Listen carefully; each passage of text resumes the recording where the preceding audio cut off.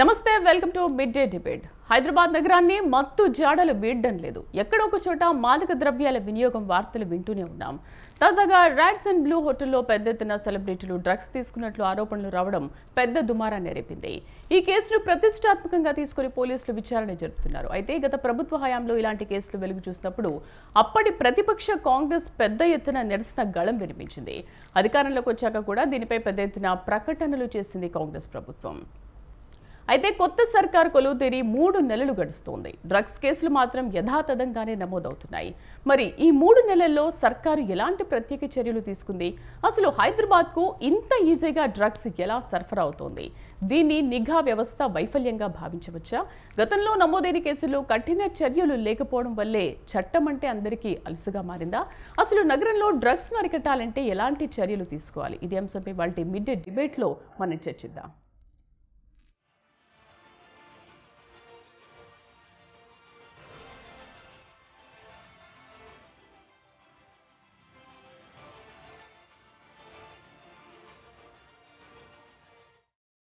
రాడ్సన్ hotel drugs కేసులో దర్యాప్తు మాత్రం ముమ్మరం చేశారు. నిందితుల సంఖ్య ఇప్పటికి పద్నాలుగు చేరినందులో ఒకరు విదేశాలకు పారిపోయినట్టుగా తెలుస్తోంది. అటు ఈ రోజు క్రిష్ వస్తారేమని అనుకున్నారు బట్ ఈ రోజు కూడా రాను అని చెప్పి కోర్టుకు చెప్పిన నేపథ్యంలో ఆయన సోమవారం వస్తాను అని అన్నారు. బట్ ఈ రోజు అయితే వచ్చే దాఖలాలు ఏవి కనిపించట్లేదు. మొత్తానికైతే డ్రగ్స్ కేసులో మాత్రం దర్యాప్తు చాలా వేగవంతంగా ముమ్మరం చేస్తోంది. సో దీనికి సంబంధించి డిబేట్లో మనం పాల్గొందాము. రెడ్డన్న రిటైర్డ్ పోలీస్ అధికారి అలాగే శ్రవణ్ కుమార్ గారు విశ్లేషకులు. మనతో పాటు డిబేట్లో పాల్గొంటున్నారు. నమస్తే అండి వెల్కమ్ టు షో. నమస్కారం అండి. రెడ్డన్ గారు ఏమంటారు? అసలు రోజు రోజుకి పెరిగిపోతున్న డ్రగ్స్ కల్చర్ని ఆపేదెలా? అసలు ఎందుకు ఇంతలా విస్తరించిపోతుంది అంటారు ఇది? డ్రగ్స్ ఒక రోజుతో విచ్చరి విస్తరించదండి. నెమ్మది నెమ్మదిగా ఇది ప్రాకుతూ వస్తుంది. అదేవిధంగా ఎక్కడైతే ఎక్- ఎక్కడైతే డబ్బు వృధా ఎక్కువగా చేతుల్లో మారుతుందో తర్వాత విలాసాలకి ఎవరైతే అలవాటు పడతారో తర్వాత సరైన సరైనటువంటి చెకింగ్ తమ లై తమ వై- లైఫ్ మీద ఇప్పుడు పిల్లలు ఉన్నారు వాళ్ళకి తల్లిదండ్రుల నుంచి కానీ ఫ్రెండ్స్ గురించి కానీ స్కూళ్ళ నుంచి కానీ ఎక్కడైనా సరైనటువంటి అవగాహన కల్పించని పరిస్థితులు ఏర్పడడం వల్ల ఈ డ్రగ్స్ మహమ్మారి రోజు రోజుకు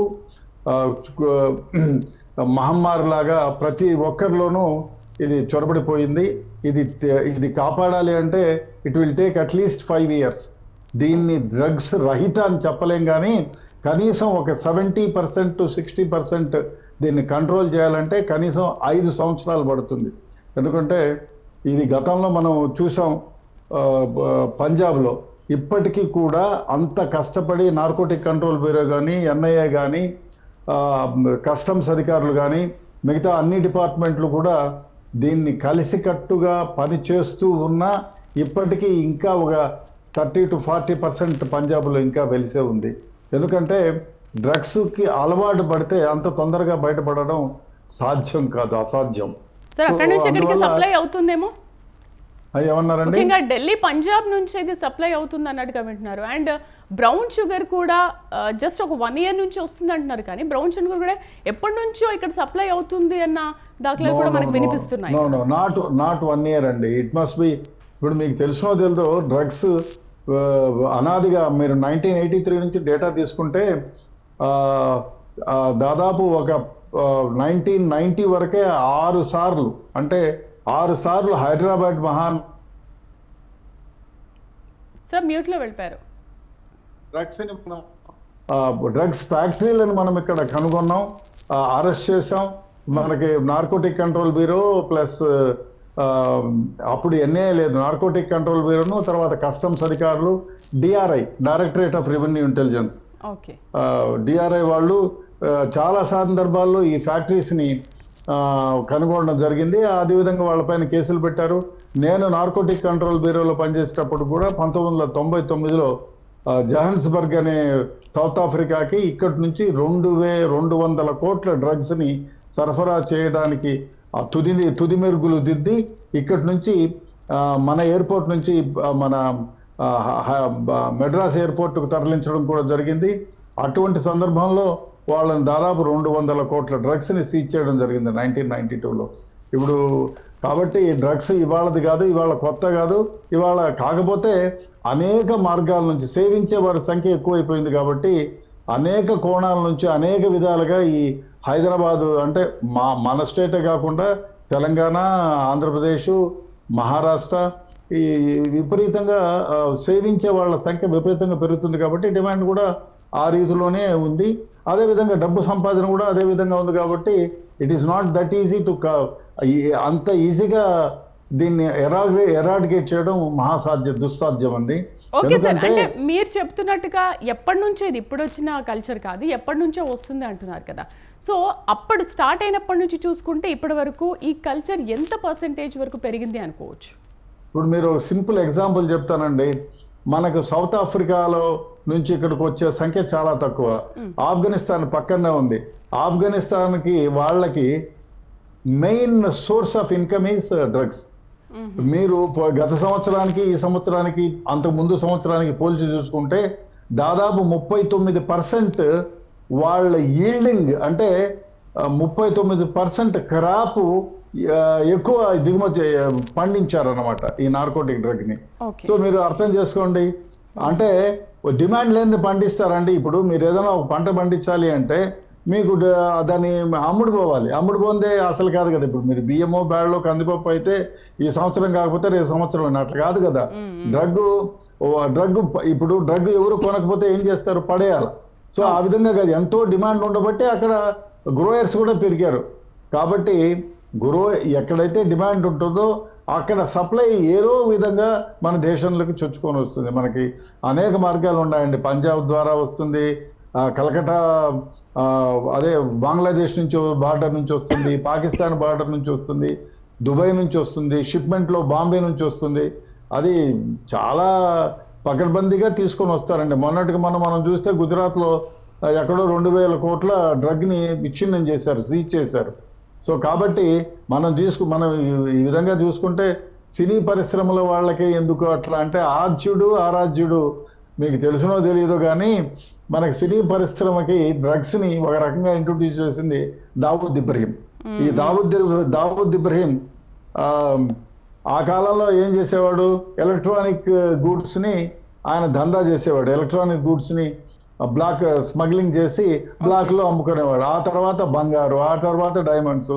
ఈ ఏంట్లో ఎక్కువ డబ్బులు లాభాలు లేవని చెప్పేసి ఆయన ఏకంగా డ్రగ్స్ని తీసుకొని వచ్చి అమ్మటం చేసేవాడు. అదే కాకుండా గుజరాత్లో ఉండే ముడి పదార్థాలను తయారు చేసి బాంబేలోను పూణేలోను హైదరాబాద్ లోను మిగతా చాలా పట్టణాల్లో ఆయన డ్రగ్స్ కంపెనీలు పెట్టి తయారు చేసి ఇతర దేశాలకు ఎగుమతి చేసిన సందర్భాలు కోకొల్లలు ఉన్నాయి. ఆ మీరు చూసుకుంటే ఆ డ్రగ్స్ని ఒక రకంగా సినీ పరిశ్రమకి ఇంట్రడ్యూస్ చేసింది దావూద్ ఇబ్రహీమే అని. చెప్పాలి. ఎందుకంటే డ్రగ్స్లో సంపాదించిన డబ్బుని తను వైట్ చేసుకోవడానికి తను ఏం చేసేవాడు? ఆ డ్రగ్స్లో వచ్చిన సంపాదన అంతా కూడా సినీ ప్రొడ్యూసర్లకి ఇచ్చి తద్వారా చాలా సినిమాలు నిర్మించాడు ఆయన. సినీ పరిశ్రమతో ఆయనకి అను అవినాభావ సంబంధం ఉంది. చాలా మంది I don't want to mention the names of the girls మీకు అందరికీ తెలిసే ఉంటుంది. మందాకిని కిందాకిని లాంటి వాళ్ళు చాలా మంది ఆయన ఉచ్చులో పడ్డారు ఆ జీవితాలను నాశనం చేసుకున్నారు. ఆ విధంగా చాలా మంది అమ్మాయిల్ని ఆయన తీసుకొని డ్రగ్స్ని సరఫరా చేసే వాళ్ళు కూడా.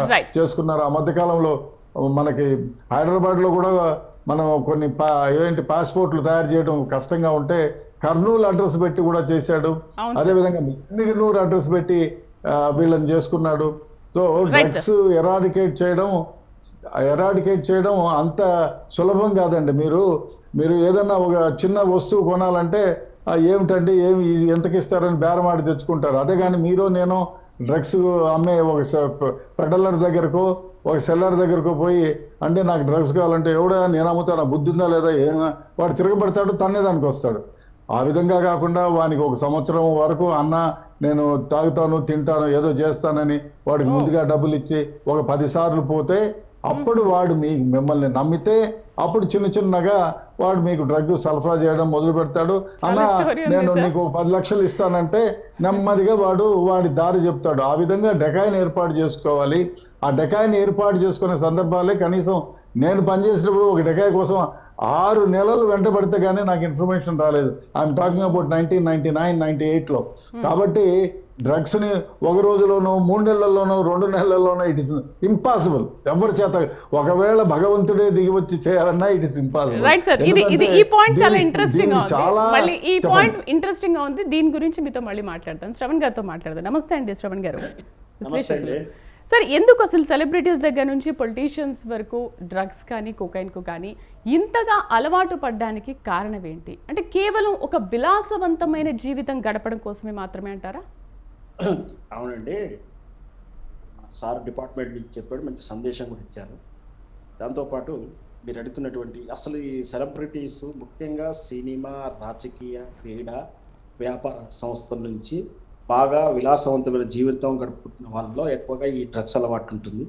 ముఖ్యంగా సినిమా పరిశ్రమలు అంటే ఇప్పుడు ఈ రాష్ట్రంలో కానీ మన నైబర్హుడ్ రాష్ట్రాల్లో కానీ లేదా ఇంకా ఢిల్లీ లాంటి స్టేట్లో కూడా ఎలాంటి డ్రగ్స్ కేసు నమోదైనా దాన్ని మోనాలు లేదా దాని లింకులు హైదరాబాద్ ఫిలిం నగర్కే చేరుతున్నాయి. అంటే అర్థం చేసుకోవచ్చు తెలుగు సినిమా ఫీల్డ్ లేదా టీవీ ఫీల్డ్ రాజకీయ ఫీల్డ్లో ఇవి ఎంతవరకు వేళ్ళునుకుపోయిందో ఈ డ్రగ్ కల్చర్ అనేది మనం అర్థం చేసుకోవాలి. తీవ్రత తీవ్ర స్థాయిలో ఉందని కూడా అర్థం చేసుకోవచ్చు. ముఖ్యంగా వ్యక్తిగతంగా కూడా నేను ఈ జాగ్రత్త మూడి రాధాకృష్ణ గారి పేరు విన్న తర్వాత ఒకసారిగా షాక్ అయ్యాను. ఎందుకంటే రాధాకృష్ణ గారు మొదటి నుంచి కూడా ఒక సెన్సిబుల్ పర్సన్గా ఒక సిస్టమేటిక్ పర్సన్ లా కనిపిస్తారు అండ్ చిత్రం తాలూకు వివరాలు కూడా అలాగే ఉంటాయి. సమాజానికి సందేశం ఇస్తూ సమాజంలో మార్పులు కావాలి రావాలని కోరుకుంటూ అతను వ్యక్తిగతంగా మాట తీరు చూసినా వ్యవహార స్థితి చూసినా లైఫ్ స్టైల్ చూసినా కూడా చాలా సిస్టమేటిక్గా ఉంటుంది. కరెక్ట్ అట్లాంటి జాగమోహన్ రాధాకృష్ణ గారి పేరు కూడా వినపాడగానే ఒకటికి రెండు సార్లు చెక్ చేసుకున్నాను. అంటే ఒకసారి ఆ పేరు వచ్చిందంటే పోలీస్ వర్గాలు బయటికి వెల్లడించారు అంటే ఇండైరెక్ట్ గానో డైరెక్ట్ వెల్లడించారంటే సర్కమస్టెన్స్ లేదు ఏమాత్రం కూడా పేరు లీక్ అలా చేయరు. ఎందుకంటే వాళ్ళు కూడా ఒకటికి రెండు సార్లు చెక్ చేసుకుంటారు. కేవలం యాదృచ్ఛికంగానే ఆ హోటల్కి వచ్చారు. అంటే మనం సాధారణంగా డ్రింక్ పార్టీ చేసుకుంటున్నప్పుడు ఎవరో ఒకరు ఒకరో ఇద్దరు తాగకుండా స్క్రీన్ థమ్స్అప్ తాగుతూ పక్కన కూడా కూర్చుంటుండవచ్చు. అలాగే మరి ఈ కేసులో ఇక్కడ జరిగినటువంటి వివేకానంద డ్రగ్స్ విషయంలో మరి జాగ్రత్తల మూడి కృషి గారు సాధారణంగానే ఉన్నాడా? డ్రగ్స్ వాడితేనే ఉన్నాడా అనేది క్రాస్ చెక్ జరిగిన తర్వాతనే బయటకు వచ్చిండొచ్చుగా నేను భావిస్తున్నాను. అంటే కృష్ణ లాంటి వ్యక్తి కూడా ఇలా డ్రగ్స్కు అడాప్ట్ అయిందంటే కూడా చాలా విచారకరణం ఇంకెంతో స్థాయిలో చాలా దిగజారిపోయాము. బాగా సినీ పరిశ్రమలో ఇది బాగా వేలుకపోయిందని అర్థం చేసుకోవచ్చు. ముఖ్యంగా సినీ పరిశ్రమలో ఈ డ్రగ్స్ కల్చర్ అలవాటానికి కారణం కారణం మీరు అడిగినట్టుగా ప్రధానంగా నాకు తెలిసిన అవగాహన ప్రకారం నాలుగు కారణాలు కనపడతాయండి. సరే ఒకటి రెండు నెంబర్లు చేంజ్ అయినా కూడా కారణాలు మాత్రం ఒక సంగతి చెప్తాను. ఫస్ట్ ఆఫ్ ఆల్ ఈ సినీ పరిశ్రమలకు ఒక అపోహలు ఉన్నాయి. ఆ అపోహలను తొలగించాలి. వాటిలో ఏంటంటే ప్రధానమైనది డ్రగ్స్ వాడితే గ్లామర్గా కనిపిస్తాము అనేది ఒక ఫా- ఒక ఫ్యాక్ట్ ఒక. సారీ ఫాల్స్ ఫాల్స్ ప్రిస్టేజ్ మీద నమ్మకం మీద వాళ్ళు డ్రగ్స్ వాడుతున్నారు. ఉమ్, ఇంకొకటి ముఖ్యంగా ఎనర్జెటిక్గా ఉంటాము. అంటే కంటిన్యూగా ఒక పది గంటలు ఇరవై గంటలు పని చేసినా ఇది చాలా స్పీడ్గా పని చేస్తాము అలసట లేకుండా పని చేస్తాము మనం ఒక రెండు గంటలైనా నాలుగు గంటలైనా కష్టపడగలుగుతాము. బాగా ఎనర్జీ వస్తుంది ఒక ఫీలింగ్. దాంతోపాటు అదే గ్లామర్లో ఎంగుగా కనపడతామని పలానా హీరో ఈ అరవై ఏళ్ళ వయసులో యాభై ఏళ్ళ వయసులో కూడా హీ గ్లామర్గా ఉండడానికి కారణం. ఆయన కూడా డ్రగ్స్ వాడాడు అని. ఒక అపోహ ఒక వదంతు అనేది ప్రచారం జరుగుతాము ఉంది. దాంతోపాటు ఫ్యాషన్. ఫ్యాషన్ అంటే ఇప్పుడు మనం కూడా సెలబ్రిటీ అయిపోయాము. ఆ సెలబ్రిటీ మధ్య మనం ఈ కల్చర్లో తిరిగితే మనం కూడా ఒక ఫ్యాషనేట్ ప్రపంచంలో ఉన్నాము. మనకు ఒక స్టేటస్ వచ్చిందని ఒక రాంగ్ ప్రిస్టేజ్లో ఉంటున్నాము. దీంతో పాటు నాలుగో కారణం ఏంటంటే రిలేషన్స్ పెరుగుతాయి. అంటే ఇప్పుడు ఆ డ్రగ్స్ వాడే వాళ్ళని పెద్దవాళ్ళతో మనం జరిగితే వాళ్ళతో కలిసి డ్రగ్స్ అలవాటు చేసుకుంటే. పెద్ద కల్చర్లో ఉంటాం. మన సినిమా అవకాశాలు పెద్దగా పెరుగుతాయి. వాళ్ళతో రిలేషన్స్ పెరుగుతాయి. ఇట్లా అన్ని రకరకాలుగా నాలుగు రకాల ప్రధాన కారణం గ్లామర్ వస్తాను హెల్తీగా ఉంటామనో ఫ్యాషన్గా ఉంటామనో రిలేషన్స్ పెరుగుతాయమనో అనవసరంగా డ్రగ్స్ బలవంతంగా వాడ టైంపాస్కి అలవాటు చేసుకుని ఇప్పుడు అడక్ట్ అయిపోతున్నారు. మొదటగా సినీ పరిశ్రమ నుంచి అంటే సార్ చెప్పినట్టు ఈ డ్రగ్స్ మాఫియాను ఒక్కసారిగా నిర్మూలించాలంటే అది ఈజీ కాదు. బహుశా ఒక రూపం నుంచి ఇంకో రూపంలోకి మారుతుండొచ్చు కానీ సినీ పరిశ్రమ నుంచి ముఖ్యంగా దీన్ని దూరం చేయాలంటే ఈ గ్లామర్ విషయంలో కానీ హెల్త్ విషయంలో కానీ ఈ డ్రగ్స్ పనిచేయవు. డ్రగ్స్ తీసుకున్న తర్వాత మన ఆర్గాన్స్ మీద ఇమీడియట్లీ ప్రభావం చూపిస్తుంది. దాని ద్వారా పది సంవత్సరాలకు చనిపోవాల్సిన వాళ్ళు. ఐదు ఆరు నెలలకు ఎనిమిది నెలలు ఆర్గాన్ పనిచేయకుండా పోతాయి. అడక్ట్ అవుతే కెరీర్ పోతుంది. ఇలా ఇలాంటి అడక్ట్ అయిన వాళ్ళని సంఘ బహిష్కరణ చేయాలి అనేది ఒక అవగాహన కల్పించాలి వాళ్ళలో. సదస్సు కానీ ఒక అవేర్నెస్ తీసుకొస్తే డ్రగ్స్ కొంచెం వాళ్ళని సినీ పరిశ్రమ నుంచి సెలబ్రిటీ నుంచి దూరం చేయడం వల్ల అవుతాయి గ్లామర్ పెరగదు కాదా కాస్త ఇమీడియట్లీ ఆ గ్లామర్ తగ్గిపోతుంది బలహీనం అయిపోతాము ఆర్గాన్స్ పనిచేయకుండా మ- ఆ ముఖం వర్చస్పోతుందని పోతుందని సైంటిఫిక్గా ఒక డాక్టర్లతో సైకాలజీలతో వాళ్ళకి అవేర్నెస్ ప్రోగ్రామ్ అదే చేస్తే కొంచెం ఈ డ్రగ్స్ కల్చర్ సినీ పరిశ్రమ నుంచి దూరం చేసే వాళ్ళం అవుతామండి. దాంతోపాటు పెద్ద సార్ గారు ఉన్నారు వాళ్ళ తరపున కానీ మనం చెప్పే రిక్వెస్ట్ ఏంటంటే డ్రగ్స్ కన్జ్యూమ్ చేసే వాళ్ళ పట్ల విచారణ విషయంలో కానీ శిక్షల విషయంలో కానీ. పాపం బాధితుడు అనే కోణంలో ఉంటుంది. కాకుండా అతడు కూడా నేరస్తుడే తీవ్రస్థాయి నేరస్తుడే అంటూ అతనికి కూడా తీవ్రమైన శిక్షలు కఠినమైన శిక్షలు ఉంటే కనీసం ఇట్లాంటి కొంచెం ఇప్పుడేముంది నిన్నటి అరెస్ట్ కాగానే వెంటనే బెయిల్ వచ్చేసింది. ఎందుకంటే అతను తీవ్రమైన నేరస్తుడిగా భావిస్తున్నారు. ఎందుకంటే అతను కన్జ్యూమ్ చేశాడు అనే ఒక భావనతో ఉన్నాడు. బాధితుడు డ్రగ్స్ వాడాడు అనే ఒక కన్సల్టేషన్లో విచారణ జరుగుతుంది. ఆ విధానం పోయి డ్రగ్స్ ముట్టుకున్నా డ్రగ్స్ కలిగి ఉన్నా డ్రగ్స్ చూసినా పెద్ద నేరం అన్న తరహాలో శిక్షలు ఉంటే కొంచెం భయపడతారు. అట్లాంటి వాళ్ళు సంఘ బహిష్కరణ కూడా అవుతారు. అంటే అట్లాంటి వ్యక్తులతో అనుమానాలు వస్తాయన్న. అప్- అట్లాంటి భావన కూడా ప్రజల్లో కలగాలి. అట్లాంటి డ్రగ్స్ వాళ్ళతో రిలేషన్స్ మెయింటైన్ చేయదు ఓకే. శ్రవణ్ గారు అంటే ఇప్పుడు డ్రగ్స్ తీసుకునేటప్పుడు ఎనర్జెటిక్గా ఉంటాము లేకపోతే రోజంతా చాలా ఉల్లాసంగా ఉంటాము గ్లామర్ పెరుగుతుంది. షూటింగ్లో చాలా ఎక్కువసేపు పాల్గొనొచ్చు అన్న కోణంలో తీసుకుంటున్నారు తప్ప ఓకే నిజంగానే దీని మీద ఒక అనాలిసిస్ చేసి నిజంగా ఇది తీసుకుంటే ఎలాంటి ఎఫెక్ట్స్ ఉంటాయి? సైడ్ ఎఫెక్ట్స్ ఏమైనా ఉంటాయా? అసలు తీసుకోవచ్చా లేదా అనే విషయం మీద ఎందుకు అనాలిసిస్ చేసుకోకుండా తీసుకుంటారు? వాళ్ళ హెల్త్ని పాడు చేసుకుంటారు. ఓకే ఇప్పుడు అలాంటివి తీసుకున్నప్పుడు మన హెల్త్ పాడవుతుందని మనకు కూడా కాన్షియస్లో ఉంటాం కదా మనం. చెడు ఎక్కువ ఇంట్రెస్ట్గా ఉంటుంది వింటాం కానీ మనం వినే విషయంలో నిజం అబద్ధం అని టెస్ట్ చేసి పరీక్షించి వంద ప్రశ్నలు వేసి వినే తత్వంలో ఉండరు ఆ కండిషన్ మనం కావాలని కన్విన్స్ అవుతారు. అలా చెప్పగానే అంటే కన్విన్స్ అవుతారు కానీ నిజం హెల్త్ ఉపయోగపడుతుందా నాకు ప్రూఫ్ చూపించు సాక్ష్యాలు చూపించాను ఎవరు అడగలేరు. అది మనిషి బలహీనత. కాకపోతే అదే చెప్తున్నాను. పేర్లు చెప్పడం కూడా బహిరంగ ఇబ్బంది కాబట్టి చెప్తున్నాను. ఫలానా హీరో యాక్టివ్గా ఉన్నాడంటే ఆయన డ్రగ్స్ వాడబట్టి యాక్టివ్గా ఉన్నాడు. ఆయన వాడబట్టి ఆయన గ్లామర్గా కనపడుతున్నాడు అన్న అపోహ ఇండస్ట్రీలో స్ప్రెడ్ అవుతుంది. అంటే కొన్ని కాలాల పాటు మనం కూడా ఇండస్ట్రీలో ఉండాలి అంటే తీసుకోవాలని అనుకుంటారు. ఆ రిలేషన్స్ ఉంటే దాంతో మెయింటైన్ చేస్తుంటాం. పలానా హీరోతో మనం డ్రగ్స్ వాడితే ఆయన పలానా పెద్ద హీరోతో పక్కన మనకు కూడా సినిమా అవకాశం వస్తుంది. ఆ తర్వాత మనకు క్యారెక్టర్ ఇస్తారు. లేదా పలానా డైరెక్టర్ కూడా వాడుతున్నాడు కాబట్టి ఆయనతో రిలేషన్ మెయింటైన్ చేస్తే మనకు కూడా రేపు పొద్దున ఒక మంచి అవకాశం వస్తుంది. ఇట్లా రిలేషన్ పాయింట్ ఆఫ్ వ్యూలో కూడా చిన్నగా వలయంలో చిక్కుంటూ ఉన్నారు. ముందు వీటిని అపోహ ఇవన్నీ కూడా ఫాల్స్ ప్రిస్టే ఫాల్స్ విషయాలని చెప్పి ప్రచారం కానీ అవగాహన. కనిపిస్తుంది కొంచెం సినీ పరిశ్రమ అయితే దూరం చేయగలుగుతాము. ఆ తర్వాత ఇక సొసైటీ తరపున అంటే మనం చేయాల్సినంతగా ప్రభుత్వాల బాధ్యత ఉంది. మన ప్రభుత్వాలైన రాజకీయ కోణం. మేమేదో ప్రతినిధిస్తా అని చెప్తాం అనేది రాజకీయ కోణం. సార్ డిపార్ట్మెంట్ ఎక్స్పీరియన్స్ ఉంది కాబట్టి ఆయన స్పష్టంగా చెప్పారు అంత ఈజీగా ఏం కాదు. కాకపోతే రూపం మార్చుకుంటుంది. అంటే ఈ- రోజు ఇక్కడ కంచుకట్టు ఇంకో రూపంలో ఇంకో సెక్టర్లలో ఇంకో డ్రగ్స్ రూపంలో లేదా వాళ్ళ కోడ్ లాంగ్వేజ్ మార్చుకొని తయారు చేసే విధానం సెన్స్ దొంగ ఎప్పుడైనా తెలుగుగలడే దాని తర్వాత పోలీసులు కనిపెడతారు? ఎప్పటికైనా దొంగ దొరుకుతూనే ఉంటాడు. ఇది- లౌకిక సిద్ధాంతం. జరుగుతూనే ఉంటుంది. లోక- లోకమైన సిద్ధాంతం కాబట్టి మనం దాని మీద శ్రద్ధ పెడుతూనే అవేర్నెస్ చేయగలిగితే కొంచెం తగ్గించగలం రైట్ రైట్ శ్రవణ్ గారు. సార్ రెడెన్ గారు ఆ, ఇంతకు ముందు ఒక మంచి ఇంట్రెస్టింగ్ పాయింట్ చెప్పారు. అంటే ఇప్పుడు డ్రగ్స్ తీసుకోవాలి అంటే అంత ఈజీ కాదు అంటున్నారు. అంటే ఏంటి వాళ్ళతో పరిచయం పెంచుకోవాలి? వాళ్ళు మనం నమ్మాలి అంటే ఒక ఆరు నెలలు ఏడు నెలలు లేకపోతే ఒక మూడు నెలలు. అయిన తర్వాతే వాళ్ళు మనకి డ్రగ్స్ సరఫరా చేస్తారా? ఎస్ మీరు మీరు మామూలుగా ఇప్పుడు మీ దగ్గర ఏదైనా ఒక వస్తువు ఉంటే ఒకసారి ఒక కారు ఇంకొకటో ఇంకోటో కొనాలంటే ఒకసారి అమ్మని అంటాడు రెండోసారి అమ్మని అంటాడు మూడోసారి సరేలే ఇంతగా అడుగుతున్నారు కదా తీసుకోమంటారు. బట్ డ్రగ్స్ అట్లా కాదు. ఎందుకంటే ఇది వాడి జీవితానికి వాడి బిజినెస్కి సంబంధించిన వ్యవహారం. పొరపాటున ఎక్కడైనా లీక్ అయితే వాడి బిజినెస్ కట్ ఆఫ్ అవుతుంది వాడి జీవితం నాశనం అవుతుంది. వాడు జైలుకి పోతాడు. మీరు ఇప్పుడు డ్రగ్స్లో డ్రగ్స్ సరిగా పోలీసులు ఇది చాలా విషయాలు ముడిపడి ఉన్నాయండి. డ్రగ్స్ కేసు పొర కరెక్ట్గా ఇన్వెస్టిగేషన్ ఎక్కడ లోపం అంటే చెప్తాను లోపాలు.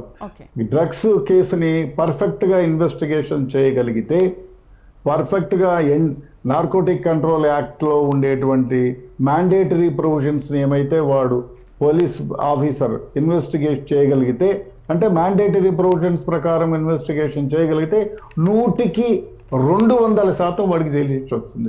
ఎందుకంటే ఇది చాలా కఠినమైన ప- కఠినతరమైనటువంటి ప్రాసెస్ అన్నమాట. ఎందుకంటే ఇప్పుడు మీరు నేను మర్డర్ చేశానో రేప్ చేశానో లేకపోతే ఇంకోటి చేశానో అయితే బర్డన్ ఆఫ్ ప్రూఫ్ నిరూ అది నిరూపించాలంటే prosecution has to prove it government has to prove it ఏది మీరు మర్డర్ చేశారనో లేకపోతే డెకాయిటీ చేశారనో రాబరీ చేశారనో. బట్ డ్రగ్స్ కేసులో ఆ విధంగా కాదండి. డ్రగ్స్ కేసులో అది వాడు ఎవరైతే పట్టుబడిన ముద్దాయి ఉన్నాడో హీఈస్ నాట్ గిల్టీ అని ఆయన ప్రూవ్ చేసుకోవాలి. He's not guilty of the offence అని. కాబట్టి ఇది చాలా కష్టతరమైనటువంటిది. కాకపోతే పోలీసు డిపార్ట్మెంట్కు సరైన అవగాహన అంటే ఇన్వెస్టిగేషన్లో సరైన అవగాహన లేకపోవటం అదేవిధంగా పొలిటికల్ ఇంటర్ఫీరెన్స్ ఉండటం అదేవిధంగా చాలా మంది విట్నెస్లు డబ్బుకు అమ్ముడుపోవటం అదేవిధంగా కోర్టులలో ఏళ్ళ తరబడి ఈ ఏదైతే ప్రాసిక్యూషన్ ఫినిష్ కాకుండా ఏళ్ళ తరబడి జరగటం అదేవిధంగా కొందరిని భయపెట్టి బాపెట్టి తమ దారికి తెచ్చుకొని కేసులు కొట్టేయించుకోవడం. సో ఈ విధంగా ఉండటం వల్ల కేసులు పెట్టిన కేసులు వీగిపోతున్నాయి. అదేవిధంగా మీరు ఇన్వెస్టిగేషన్ ప్రాసెస్లో కూడా వాళ్ళకి సరే పోలీస్ ఆఫీసర్లకు సరైన ట్రైనింగ్ ఇవ్వకపోవటం సరైనటువంటి మౌలిక సదుపాయాలు కల్పించకపోవడం వల్ల ఈ కేసుల సంఖ్య వీగిపోతుంది. దాంతో ఏమైపోతుంది? ఒకసారి జైల్లోకి పోయించడం అంటే ఏమైందా? పొద్దున్నే పోయినాను సాయంత్రం వచ్చినాను లేదు పదిహేను రోజులకు వచ్చాను లేదు రెండు నెలల్లో వచ్చేసాను అని. అదేవిధంగా కొన్ని సందర్భాల్లో ఈ డ్రగ్స్ దందాలో జైలుకు పోయిన వాళ్ళు అక్కడ తమ సామ్రాజ్యాన్ని విస్తరించుకుంటున్నారు. మిగతా వాళ్ళు ఎవరైతే ఉన్నారో అరే ఏమన్నావురా? ఈ డ్రగ్స్లో దందాలో ఎందుకు పోయినావన్నా? ఏమని విచారిస్తే ఏముందయ్యా? ఇక్కడ మనం పది రూపాయలు పెట్టుబడి ఒక లక్ష రూపాయలు పెట్టుబడి పోతే యాభై లక్షలు వచ్చే బిజినెస్ ఎక్కడైనా ఉందా? ఒక డ్రగ్స్లోనే ఎక్కడా లేదు. ఇప్పుడు మీరు మధ్యప్రదేశ్ ఉత్తరప్రదేశ్ లాంట్లో మనం ఓపియం పండిస్తాం. అంటే ఓపియం పండించిన ఓపియం గవర్నమెంట్కి ఇవ్వాలి. మన దగ్గర మూడు ఫ్యాక్టరీస్ కూడా ఉన్నాయి. దాదాపు ఇరవై ఏడు దేశాలకి మనం డ్రగ్స్ని సరఫరా చేస్తాం. భారత ప్రభుత్వం. సో వాళ్ళు ఏం పండిస్తారు? మన దగ్గర మధ్యప్రదేశ్లో ఉత్తరప్రదేశ్లో ఆ రైతులకి ఓపియం ఇచ్చే ఓపియం అంటే ఏదో కాదండి గసగసాల చెట్టు. ఆ కాయల నుంచి తీసిందే ఓపియం ఆ ఓపియం పండించే సందర్భంలో ఏం చేస్తారు? గవర్నమెంట్ ఒక రేటు పెడతారు. ఏమి? ఒక కేజీకి వచ్చి పదివేలు ఇరవై వేలు పెడతారు. కానీ అదే రైతు అయ్యా ఒక ఒక ఒక ఒక ఎకరంలో నలభై కేజీలు పండించాలనుకో వాడికి ఇచ్చేది ఎంత? నాలుగు లక్షల రూపాయలు. ఖర్చు మూడు లక్షలు పోతే వాడికి మిగిలేదు ఒకటి ఒక లక్ష. లేదు పురుగులో ఇంకోటో ఇంకోటో అయిపోయి ధ్వంసం అయితే ఇబ్బంది పడిపోతున్నాడు. అందువల్ల వాడేం చేస్తాడు? లేదు సార్ నలభై నలభై కేజీలు వచ్చినా కూడా లేదండి. పురుగులు కొట్టేశాయి దిగుబడి రాలేదు అని చెప్పి ఇరవై ఐదు కేజీలు అంటాడు. ఇరవై ఐదు కేజీలు పదివేలతో అమ్ముకుంటాడు. ఈ పదిహేను కేజీలు ఏమైతే ఉన్నాయో రెండు రెండు లక్షల రూపాయలతో అమ్ముతాడు. పదిహేను రోజులు ముప్పై లక్షలు వచ్చేసింది. సో ఆ విధంగా మార్కెట్లోకి వస్తుంది ఒకటి.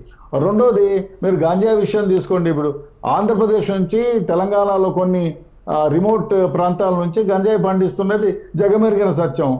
దాదాపు ఏడు ఎనిమిది స్టేట్లకు సరఫరా అవుతుంది.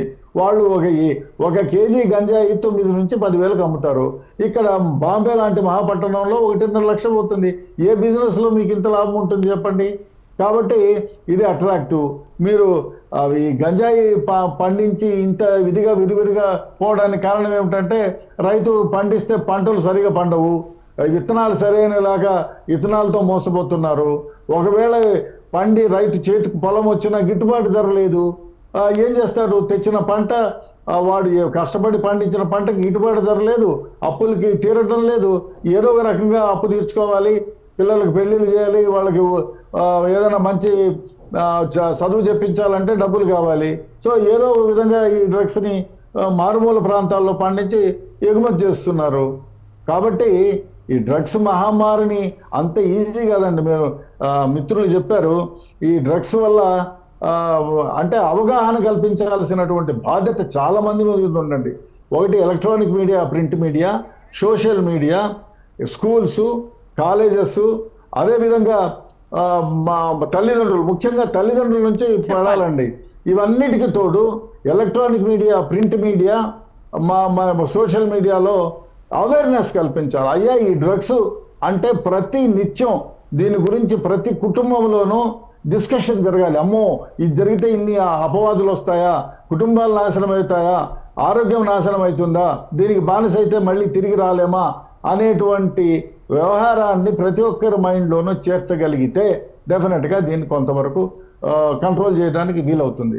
ఇది ఇది కల్పించాల్సిన? ప్రభుత్వాలు మిన్నకు మీరు తిన్నట్టు ఉండిపోయాయి. ఏదో ఇప్పుడు దీన్ని ఇప్పుడు ఎయిడ్స్ మీద కంట్రోల్ చేయ ఎలా చేయగలిగామండి? బికాస్ అవగాహన కల్పించాం. ప్రతి ఒక్కరికి ఎయిడ్స్ అంటే అమ్మో ఎయిడ్సా?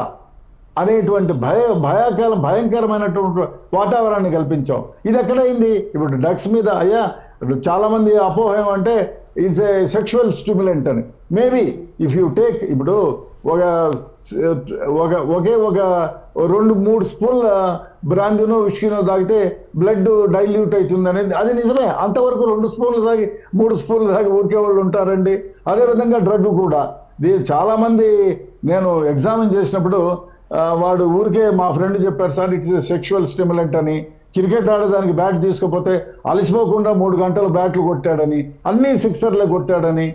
ఆ విధంగా అపోహలు. అంటే కొంతవరకు నిజమున్నా అది ఒక మోతాదు వరకే. ఆ మోతాదులో ప్రపంచంలో తీసుకున్న వాళ్ళు maybe zero zero point one one percent కూడా ఉండదు. కాబట్టి అపోహలు ఎక్కువ ఇంకోసారి ఏమంటే ఏముంది లేరా ఒక్కసారి అలవాటు చేస్తే ఒకసారి తీసుకుంటే ఏం కాదని ఒకసారి తీసుకుంటే పొరపాటు లేదని రెండు మూడు నాలుగు అయిపోతుంది అలవాటు కిందకి వెళ్తాడు.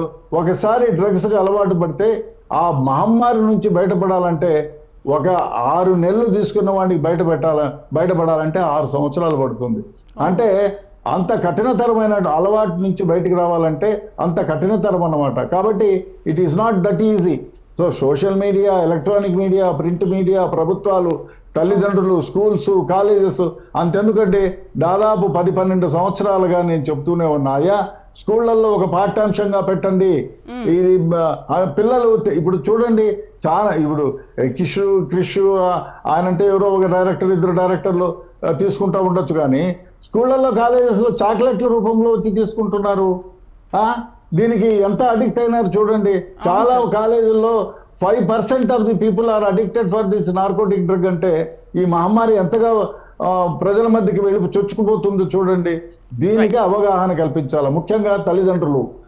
తల్లిదండ్రులు ఏమో సంపాదించాలనేటువంటి యావే ఉంది కానీ ఒక ఒక ఎథిక్స్ మారల్స్తో పెంచాలనేటువంటి పెంచాలనేటువంటి జ్ఞానం కలిగిన తల్లిదండ్రులు ఎంతమంది ఉన్నారు. సాయంత్రం వస్తే వాడితో గంట గడిపితే వాడే చెప్తాడు. వాడి స్నేహితులు ఎవరు? Tell me your friend I will tell you what you are స్నేహితుడు మా వాడు ఎవరితో స్నేహం చేస్తున్నాడు అనేది తెలుసుకోగ తెలుసుకోగలిగిన తల్లిదండ్రులు ఎంతమంది ఉన్నారు? సో ఆ విధంగా ఒకటి స్కూళ్ళల్లో కాలేజీల్లో తొంభై తొమ్మిది తొంభై ఎనిమిది మార్కుల మీద పడి చేస్తున్నారు తప్ప వాడు మంచి క్యారెక్టర్ ఉన్నాడా? వాడు ఏ విధంగా ఉంటున్నాడు? ఏ విధంగా లెసన్స్ వింటున్నాడు? డల్గా ఉంటున్నాడా? ఎవరితో తిరుగుతున్నాడు అనే భావన స్కూళ్ళల్లోనూ లేదు కాలేజీలో లేదు. ఒక పాఠ పాఠ్యాంశంగా పెట్టండి అంటే ప్రభుత్వాలు పట్టించుకోవటం లేదు. ఇక విషయానికి వస్తే ప్రభుత్వాలు మేము అది గొప్పలు చేసాం ఇది చేసాం మూడు రూపాయలకే ఇచ్చాం అది ఇచ్చాం రెండు రూపాయలకి ఇది ఇచ్చామని చెప్పుకుంటున్నారు కానీ అయ్యా మీరు అంతంత పెద్ద హోర్డింగ్లు పెట్టే బదులు ఈ డ్రగ్స్ గురించి హోర్డింగ్లు పెట్టండి మీ. బర్త్డే పక్కన డ్రగ్స్ తీసుకుంటే మీ జీవితం నాశనం. అయిపోతుందని. పెట్టండి పెట్టరు సో ఇట్లాంటి దానికి ప్రయారిటీ వాళ్ళు ఇవ్వలేదు. ఒకసారి మహమ్మారికి. అలవాటు పడిపోతే జీవితాలు నాశనం అయిపోతాయి. అది ఎవరు చెప్పటంలా? సో అందువల్ల ఏమైపోతుందంటే ఈ డ్రగ్స్ మహమ్మారి కూకడు వేళ్ళతో పిగిలించాలని ఎవరికో ఒకరికో ఆశయం ఉన్నా అది చేయలేకపోతున్నారు. ఇంకో విషయం అండి డ్రగ్స్లో పనిచేసే వాళ్ళకి ఒక ఆరు నెలలు పోస్టింగ్ ఇచ్చేస్తే ఆరు నెలల తర్వాత వాడిని ఇంకొకటికో ట్రాన్స్ఫర్ చేస్తే అప్పటికే అప్పుడు ఒక వన్ ఇయర్ రెండేండ్లో కలిపితే దాని గురించిన అవగాహన ఉంటుంది. ఇంకో విషయం దరిద్రమైన వ్యవహారం చెప్పుకోకూడదు బీయింగ్ ఏ పోలీస్ ఆఫీసర్ డిపార్ట్మెంట్ల మధ్య సమన్వయమైనటువంటి వ్యవహారం లేదు. ఎందుకంటే మీరు ఎన్ఐఏ వాళ్ళు ఇన్ఫర్మేషన్ని డైరెక్టరేట్ ఆఫ్ రెవెన్యూ ఇంటెలిజెన్స్కి సరైన సంబంధాలు ఇవ్వరు. అదేవిధంగా కస్టమ్స్ వాళ్ళు లోకల్ పోలీస్కి ఇవ్వనే ఇవ్వరు. సెంట్రల్ ఎక్సైజ్ వాళ్ళకి ఇవ్వరు. ఇప్పుడు విషయాన్ని తీసుకుంటే పోలీస్ డిపార్ట్మెంట్ వాళ్ళు అరికట్టాలి. అదేవిధంగా ఎక్సైజ్ డిపార్ట్మెంట్ వాళ్ళకి ప్ర ప్రథమ కర్తవ్యం. వాళ్ళేమో ఈ తక్కువ మంది ఉన్నారు. వాళ్ళు ఈ రెంట్లు సారాయిలు సారాయి బ్రాందీ షాపుల మీద ఉండే రెంట్లకి కలెక్ట్ చేసుకోవడానికే టైం లేదు. అదేవిధంగా ఇన్ని డిపార్ట్మెంట్ ఉన్నా సమన్వయ లోపం ఉంది. నిజం కూడా. ఎందుకంటే ఎన్ఐఏ వాళ్ళు కానీ లేకపోతే డైరెక్టరేట్ ఆఫ్ రెవెన్యూ ఇంటెలిజెన్స్ వాళ్ళు కానీ నార్కోటిక్ కంట్రోల్ బ్యూరో వాళ్ళు కానీ లోకల్ పోలీసులకు మన ఎక్సైజ్ డిపార్ట్మెంట్కు ఒకటి రెండు సందర్భాల్లో వాళ్ళు ఇన్ఫర్మేషన్ ఇస్తే అది లీక్ అయ్యి అసలుకే మోసం వచ్చిందనే సందర్భాలు ఉన్నాయి సో అన్ని కారణాల వల్ల డిపార్ట్మెంట్ల సమన్వయ లోపం ఉండటం వల్ల అది కూడా సరైన రైట్స్ జరగటం లేదు. ఇంకా దరిద్రమైన. వ్యవహారం ఏమిటంటే ఒక్క విషయం అండి ఇంకా దరిద్రమైన వ్యవహారం ఏమిటంటే మనకి దొరికిన తర్వాత వాడి నుంచి ఎవడోడు వాడాడు పోతున్నాడు కానీ ఇన్వెస్టిగేషన్లో అయ్యా ఇది వాడు ఎవరు సరఫరా చేశాడు ఏ కంట్రీ నుంచి వచ్చింది ఆ కంట్రీలో ఎవరెవరు ఉన్నారో అనేది లేదు. ఇంతెందుకు? నైన్టీన్ నైన్టీ త్రీలో పారిపోయినాడు దావుద్ ఇబ్రహీం. వానిపైన ఇన్ని కేసులు ఉన్నాయి. డ్రగ్ సప్లయర్ అని తెలుసు. వాడి చేలాలంతా కూడా డ్రగ్స్ చేస్తారని తెలుసు. వాడు పక్క భారత దేశంలో మహారాజులాగా రాజరాజ భోగాలు అనుభవిస్తూ ఉన్నాడు దావుద్ ఇబ్రహీం. వాడికి పట్టుకొచ్చేదానికి వీలు లేకుండా పోతుంది. బ్రతికి ఉన్నాడు జల్సాలకు అలవాటు పడి హ్యాపీగా ఉన్నాడు దుబాయ్కి వస్తాడు ఆ హోటళ్ళలో ఎంజాయ్ చేస్తున్నాడు కూతుర్లకు పెళ్ళి చేస్తున్నాడు తెచ్చుకోలేని పరిస్థితి. సో దాన్ని ఏం చేస్తాం ఇప్పుడు? సిఏ మనం ఏం చేస్తాము? నార్కోటిక్ కంట్రోల్ బ్యూరో వాళ్ళు ఎవరైనా గవర్నమెంట్ ఇంటర్పోల్కి రాస్తాము. ఇంటర్పోల్ వాళ్ళు ఆ కంట్రీ వాళ్ళని అలర్ట్ చేస్తారు. అక్కడి నుంచి సరైన రిప్లై లేనిది ఏం చేయగలుగుతాము? అదేవిధంగా ఇన్వెస్టిగేషన్లు మన దేశం పరిధి దాటి పోలేకున్నాయి. ఆ విధంగా పోయి ఎవడైతే సప్లై చేస్తాడో ఎవరైతే మ్యానుఫ్యాక్చరర్ ఉన్నాడో వాని వరకు ఇన్వెస్టిగేషన్ పోవటం లేదు. ఆ విధంగా పోయిన రోజే ప్రభుత్వాలు ఈ విధంగా కఠిన చర్యలు తీసుకున్న రోజే డెఫినెట్గా కొంతవరకు కంట్రోల్ చేయగలుగుతాం. లేకపోతే మీరు మేము ఇలా మాట్లాడుకుంటూనే ఉంటాం. కరెక్ట్ సార్ సామాజికవేత్త కృష్ణకుమారి గారు కూడా మనతో పాటు జాయిన్ అయ్యారు. నమస్తే మేడం. నమస్తే. మేడం ఏంటి అసలు డ్రగ్స్ ఇప్పుడు కాదు ఎప్పటి నుంచో వస్తున్న కల్చర్ కాకపోతే అప్పటి నుంచి ఇప్పటి వరకు ఒక సంఖ్య పెరుగుతూ వస్తుంది ఒక పర్సంటేజ్ పెరుగుతూ వస్తుంది అంటున్నారు. బట్ ఎందుకు పెరుగుతున్నప్పటి నుంచి ఇక్కడ దాకా అంటే ఈ సంఖ్య దాకా పెంచుకోవడానికి కారణం ఏంటి? ఎందుకు ఎక్కడ వేసిన గొంగళి అక్కడే ఉంది తప్ప అంటే అంతకంటే ఇంకో పెరిగిందే తప్ప ఎక్కడ తగ్గిన దాఖలాలు ఎందుకు అనిపించట్లేదు దీని మీద ఒక సరైన అవగాహన ఎందుకు తీసుకురాలేకపోతున్నారు? ఎక్కడ వాళ్ళు అక్కడ ఆ మామూళ్ళకి ఎందుకు లొంగిపోతున్నారంటారు? ఇప్పుడు సార్ గడ్డన్న గారు చెప్పారు కదా ఆయ- ఆయన వివరించిన తర్వాత ఇంకా అసలు మేము చెప్పడానికి ఏం ఉండదు. మొత్తం చెప్పేశారు సారు. అవగాహన కల్పించండి. అవగాహన కల్పించట్లేదు. అవును. అలాగే పాఠ్యాంశాల్లో చేర్చమని చెప్పారు. ఎందుకు? అవగాహన తీసుకు చిన్నప్పటి నుంచి అవగాహన రావాలని. ఇప్పుడు ఇది అవునన్నా కాదన్నా వ్యాపారం.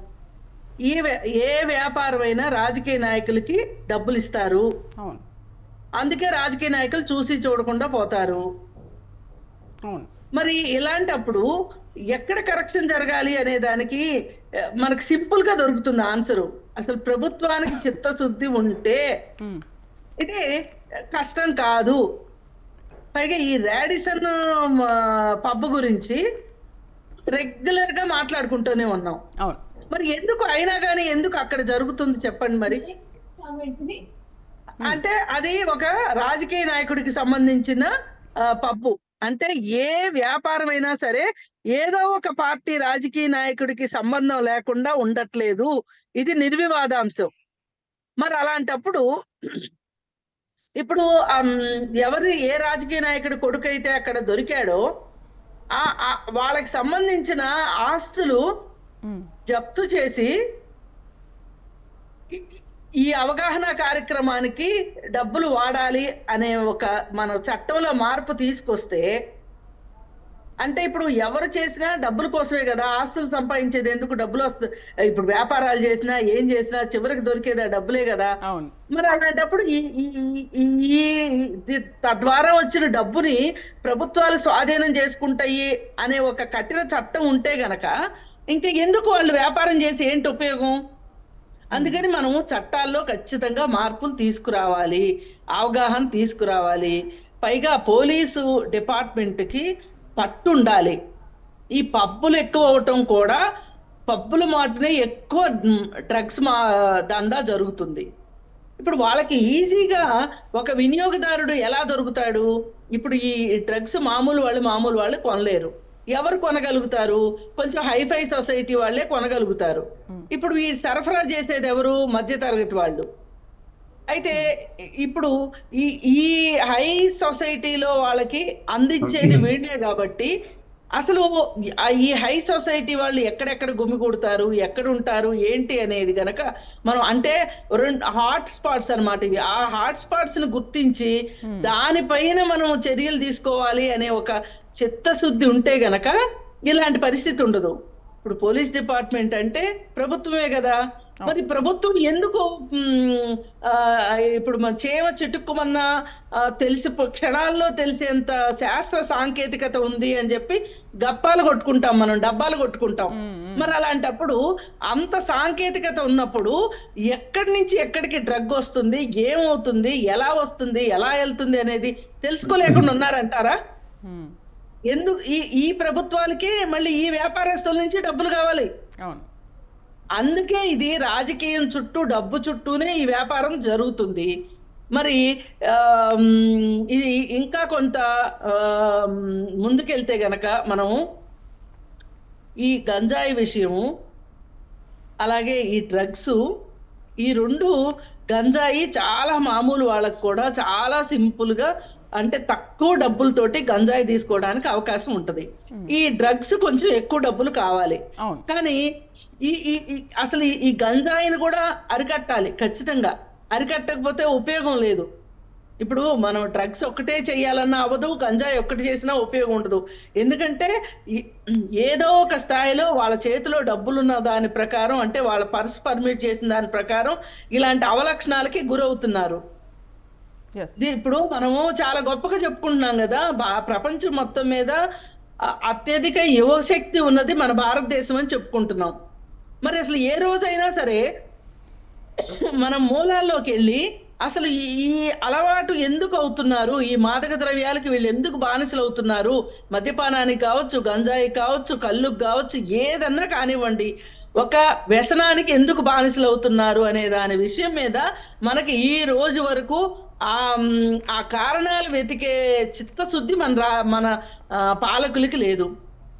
అది గనక సాధించగలిగితే మనము ఆ కారణాలని కనుక అంటే అది నిరుద్యోగమా లేకపోతే పేదరికమా లేకపోతే ఈ సంస్కృతిలో భాగంగా అంటే మనకి సినిమా కల్చర్లో కావచ్చు వీటిల్లో ఆ చూపించే గ్లోరిఫై చేసే దాని వల్ల కావ వలన లేకపోతే ఈ క్రికెటర్స్ ఈ సినిమా వాళ్ళు ఎక్కువ గ్లామర్గా కనిపించడానికి ఎక్కువ శక్తితో ఉండటానికి ఇది వాడతారని ఎక్కువ చెప్తారు. అయితే మరి ఏ రకంగా చేసినా సరే ఇది కలిగి ఉన్న తప్పే.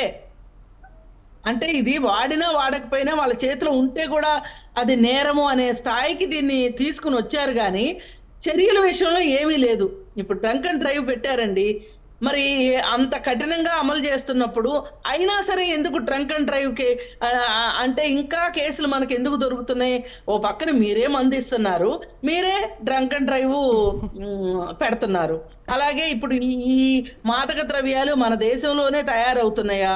లేకపోతే విదేశాల నుంచి వస్తున్నాయా? లేదు కొన్ని కొన్ని కెమికల్ కంపెనీలకి పర్మిషన్ ఉంటది ఇంత మాదక ద్రవ్యాలు వాళ్ళ దగ్గర ఉండొచ్చు అనేది. మరి అంత వాళ్ళు పక్కదారి పట్టిస్తున్నారా? ఏదైనా మనకి నిఘా వ్యవస్థ చిత్తశుద్ధితో పనిచేయట్లేదు. పాలకులకి చిత్తశుద్ధి లేదు. ఈ రెండు కారణాలతోటి ఇలాంటి పనులన్నీ జరుగుతున్నాయి. ఇప్పుడు. ప్రభుత్వాలు చెప్తూ ఉంటాయి కదా మేడం అంటే మేము ప్రతిపక్షంలో ఉన్నప్పుడు మేము అధికారంలోకి రాగానే మూడు నెలల్లో దీన్ని రూపుమాపేస్తాము లేకపోతే కుక్కటి వేళ్ళతో తీసేస్తాము అని అంటూ ఉంటారు. బట్ ఏంటి అసలు ప్రభుత్వాలు దీనిపైన ఇంతవరకు స్పందించలేదు. నిజంగా ఒకవేళ వాళ్ళు వచ్చిన తర్వాత ఇంతకు ముందు. వరకు ఒక వన్ మంత్ బ్యాక్ వరకు కూడా కొన్ని కేసెస్ వెలుగు చూసాయి అప్పుడే దీన్ని కనుక వాళ్ళు చెప్పినట్టు నివారించి ఉంటే ఇప్పుడు ఇది వెలుగులోకి వచ్చేది కాదు కదా అసలు. అక్కడే నరికేసేవాళ్ళు కదా. నో కాదండి. ఛాన్స్ నో ఛాన్స్ నేను ఒక మాట అండి మేడం వారు మాట్లాడారు నేను చెప్తాను ఒక నిమిషం వినండి. ఇప్పుడు చట్టంలో మార్పులు రావాలని అన్నారు మేడం. కాదండి చట్టంలో ఎప్పుడూ ఉంది ఫైనాన్షియల్ ఇన్వెస్టిగేషన్ అని ఉంది. ఆ క్రితంలో పంతొమ్మిది వందల తొంభై ఎనిమిది తొంభై తొమ్మిదిలో నార్కోటిక్ డ్రగ్స్ కలిగి ఉన్న మ్యానుఫ్యాక్చర్ చేసినటువంటి దావుద్ ఇబ్రహీం కుడి చెయ్యిని నేను అరెస్ట్ చేశాను. పంతొమ్మిది వందల తొంభై తొమ్మిదిలో అతనికి ఇరవై సంవత్సరాల జైలు శిక్ష వచ్చింది పది లక్షల రూపాయల జరిమానా విధించారు. అదే కాకుండా మెడ్రాస్లో దొరికిన దానికి బాంబేలో దొరికిన దానికి ఫైనాన్షియల్ ఇన్వెస్టిగేషన్ అంటారు. ఆ ఫైనాన్షియల్ ఇన్వెస్టిగేషన్ చేసి వాడి యావదాస్తిని గవర్నమెంట్ సీజ్ చేసి కాన్ఫిస్కేట్ చేసింది. ఆ చట్టంలో ఉందండి. చట్టంలో ఉంది. ఎప్పటి నుంచో ఉంది. డ్రగ్స్ ఇవాళ దొరికితే అక్కడి నుంచి ఐదు సంవత్సరాల బ్యాక్ వరకు కూడా అతను సంపాదించిన లీగల్గా సంపాదించిన ఇల్లీగల్గా సంపాదించిన డ్రగ్స్ దందాలో సంపాదించిన ఆ మొత్తము స్థ- స్థిర చర ఆస్తులని ఆ గవర్నమెంట్ కాన్ఫిస్కేట్ చేయగలిగేటువంటి చట్టంలో అటువంటి చట్టంలో ఆ వెలుసుబాటు ఉంది. కానీ అది ఫై ఫైనాన్షియల్ ఇన్వెస్టిగేషన్ కరెక్ట్గా చేయగలిగితే అతని యావదాస్తిని అతను ఐదేళ్ళ క్రితం వరకు సంపాదించిన యావదాస్తిని ప్రభుత్వాలు కాన్ఫిస్కేట్ చేయవచ్చు. చేసిన సందర్భాలు కోకొల్లలు ఉన్నాయి అదొకటి. ఇంకోటండి చట్టం చాలా పకడ్బందీగా ఉంది. నార్కోటిక్ యాక్ట్లో చాలా కఠి కఠినమైన చట్టం. కానీ అది సరైన రీతిలో అమలు కావటం లేదు.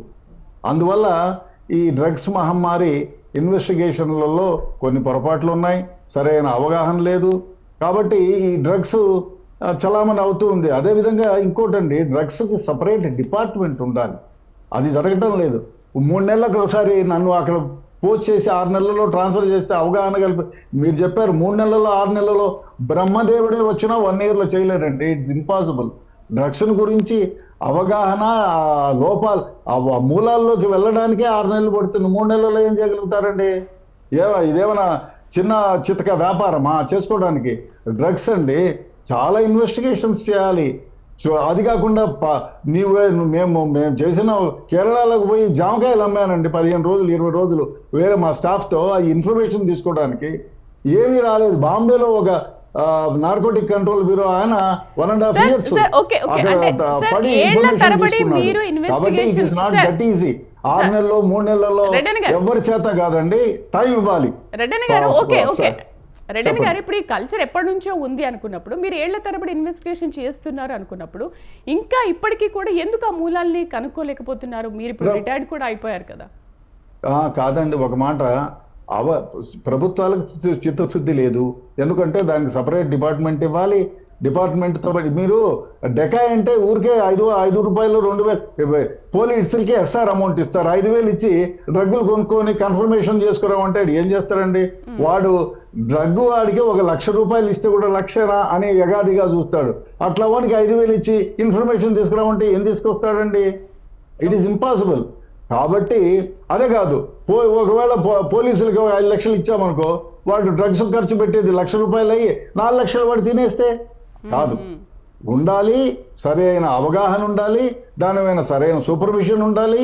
ఆ విధంగా చేయగలిగితే కనీసం ఒక ఐదు సంవత్సరాలలో దీన్ని మూలాల్లోకి వెళ్ళడానికి వీలవుతుంది.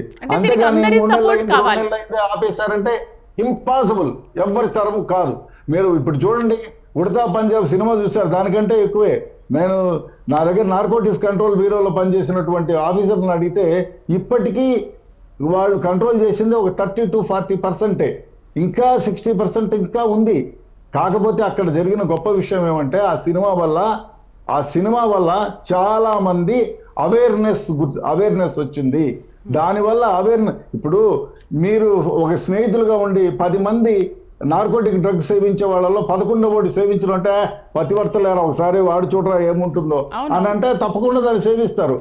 కాబట్టి అవగాహన కల్పించాలి. అంత ఈజీ కాదు. మీరు చెప్పినట్టు మూడు నెలలు రెండు నెలల్లో ఇదేమైనా డ్రామా కంపెనీ అనండి? కానే కాదు.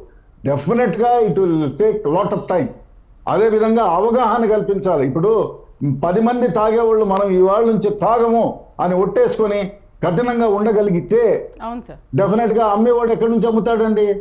కాబట్టి అవగాహన రాహిత్యం అవగాహన కల్పించాల్సిన బాధ్యత electronic media print media social media and government schools colleges and friends. దాంతో పాటుగా తల్లిదండ్రులు. వీళ్ళందరూ కలిసిగట్టిగా చేయగలిగితేనే కొంతవరకు నివారించగలము. లేదు అంటే మనం ఇలాగే మాట్లాడుకుంటాం ఇలాగే జరుగుతూనే ఉంటుంది అలాగే డ్రగ్స్ వస్తూనే ఉంటాయి.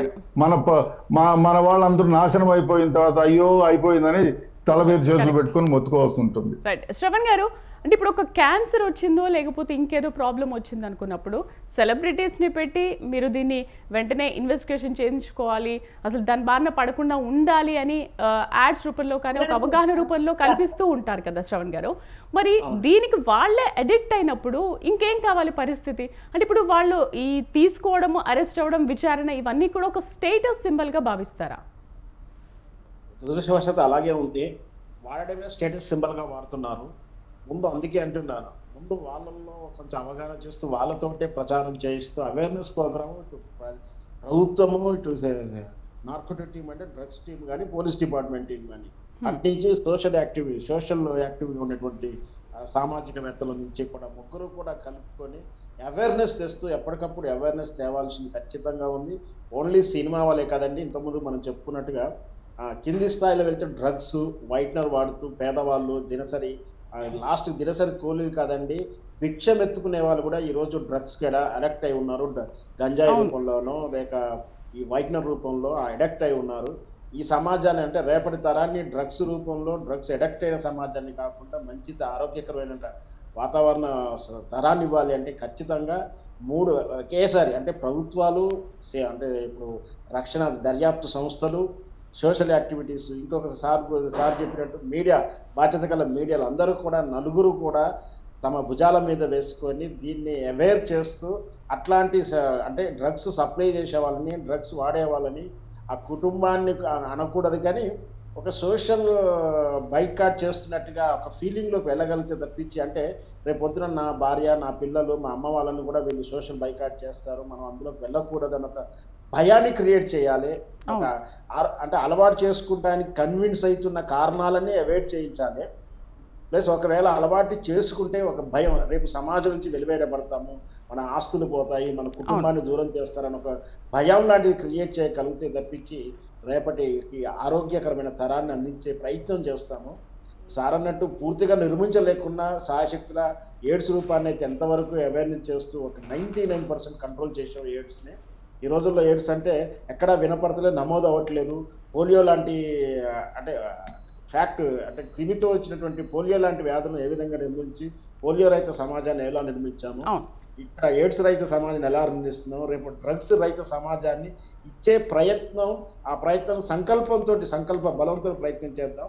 మాక్సిమం హండ్రెడ్ పర్సెంట్ చేయకుండా నైంటీ నైన్ పర్సెంట్ చేసే ప్రయత్నం ఖచ్చితంగా చేయాలి. ఇంకా దానికి దరిద్రానికి దేశానికి ఈ తెలుగు నేలలే భూమికి అయిపోతుంది ఈ డ్రగ్స్. ఈ తెలుగు నేలే కా ప్రధాన కారణమవుతున్న తరుణంలో ఖచ్చితంగా మన తెలుగు రాష్ట్రాలే పూనుకొని ముందుగా ఈ అవేర్నెస్ ప్రోగ్రాంలు కానీ దీన్ని కట్టి ఇంకేమైనా ఉంటే సెక్షన్లో మార్పులు చేసుకోవడం కానీ చేస్తూ ప్రభుత్వాలు కూడా రాజకీయ వైపు కాకుండా ఇది గత తాలూకు పాలన పార్టీది ఓటర్లు ఆళ్ళది అని కాకుండా ఎవరిదైనా సరే పాలకులు ఖచ్చితంగా దాన్ని సిద్ధసిద్ధు చేస్తే తప్పించి అవ్వదు ఇది ఎన్నికల నినాదంగానో ఎన్నికల ముందు చెప్పే statement లా కాకుండా ఇది సమాజం కోసం బాధ్యత గల పాలకులుగా ఆలోచిస్తూ దాని మీదటువంటి సార్ చెప్పినట్టు డిపార్ట్మెంట్ నిధులు ఇస్తూ వాళ్ళని ట్రాన్స్ఫర్ చేయకుండా వాళ్ళకు మిషన్ ఇచ్చి ఆ మిషన్ కంప్లీట్ అయిన వరకు ఆయననే ఆ- ఆ సార్ని అక్కడే విధుల్లో ఉంచేసి మిషన్ కంప్లీట్ అయినాక అతన్ని ఏమైనా ట్రాన్స్ఫర్ చేయాలన్నా ఇతర డిపార్ట్మెంట్ చేయాలి కానీ ఏదో చేసాం ఆరు నెలల పనిష్మెంట్గా ఎక్కడ ఎక్కడ నార్కటిక్లో అక్కడ ఇక్కడ వేస్తున్నాం అంటే కాకుండా సిద్ధస్థితితో చేస్తే తప్పించి కొంచెం హెల్తీ. వాతావరణం మనకు వస్తుందండి ఫ్యూచర్లో రైట్ సైడ్ డిబేట్లో పాల్గొనేందుకు కృష్ణకుమారి గారికి అలాగే శ్రవణ్ కుమార్ గారికి అలాగే రెడ్డన్ గారికి థ్యాంక్ యూ వెరీ మచ్ అండి. సో ఎప్పటి నుంచే పేరుకుపోయిన డ్రగ్స్ కల్చర్ వాడే వాళ్ళ సంఖ్య కూడా పెరిగిపోతుంది. అలా అది విస్తరించిపోతూనే ఉంది. సో ఇంతలా ప్రభుత్వాలు మారినప్పటికీ కూడా దీనికి అడ్డుకట్ట వేసే జాడలు ఎక్కడా కనిపించట్లేదు. సో ఇప్పటికైనా ప్రభుత్వాలు మారిన తర్వాత అయినా ఈ రోజుకైనా దీనికి అడ్డుకట్ట పడుతుందా? లేకపోతే ఇంకా ఇలాగే కొనసాగుతూ ఉంటుందా? చూద్దాం. ఇది వాళ్ళ ఇమీడియట్ డిబేట్ నమస్తే.